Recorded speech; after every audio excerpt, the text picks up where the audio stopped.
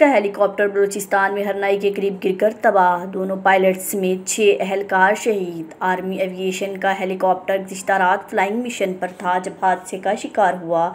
ISPR के मुताबिक पाक फौज का हेलीकॉप्टर गुजशत रात बलूचिस्तान में हरनाई के करीब गिरकर तबाह हो गया।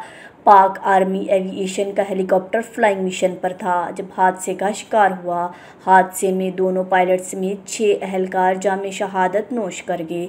शहदा में मेजर खुरम शहजाद, मेजर मोहम्मद मुनीब समेत सूबेदार अब्दुल वहीद, हवालदार मोहम्मद इमरान नाइक जलील, सिपाही मोहम्मद इमरान और सिपाही शुएब शहीद हुए। आई एस पी आर के मुताबिक उनतालीस साल मेजर खुरम शहजाद अटक के रहायशी थे।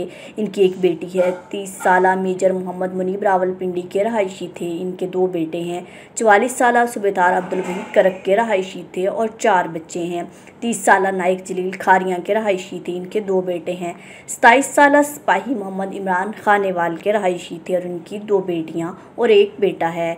पैंतीस साल सिपाही शेब झंडा अटक के रहायशी हैं। इनका एक बेटा है, पूरी कौम सोगवार है।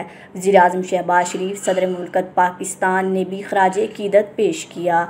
अल्लाह वाहकिन के पूरी कौम अपने शहदा की कुर्बानियों की कदर करती है और दुआ गो है कि अल्लाह ताला इनके लाकिन को सब्र जमील अता फ़रमाए।